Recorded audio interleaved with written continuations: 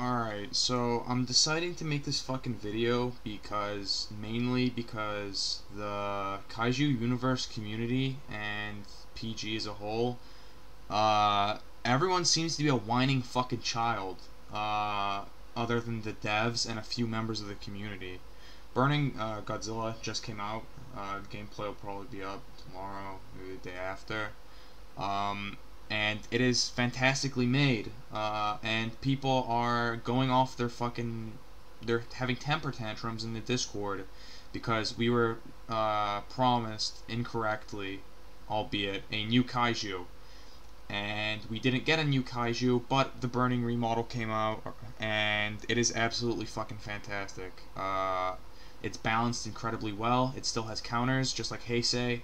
Uh, they're incredibly fucking strong, but uh, at base. But if you if the only way that they can be remotely considered unbalanced, and I'm putting air quotes around that, is if the player using them is incredibly good at using them. So, yeah, uh, people are calling it unbalanced. It's most definitely not. You're clearly just shit at the game. Um, and they're whining about not getting the new kaiju. Uh, I don't know if they know this, but making models and things is difficult, and bringing out things every week is incredibly difficult when it, or fucking, especially when it's every week. Uh, so yeah, that's mostly what I wanted to fucking say. Uh, I doubt that devs will ever see this video, but they should really keep up what they're doing.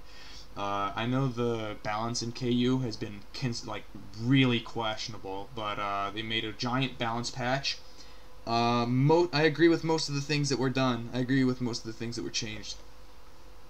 Um, Heisei and Burning, both absolutely fucking fantastic. Uh, I really hope they keep up the good work.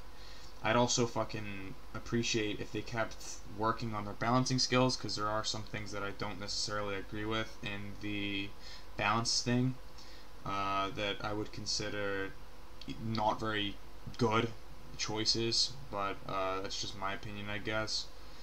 Uh, but yeah, they're getting better at balance in general, and they're getting consider or they're quite blatantly improving in terms of their model quality and the kaiju complexity.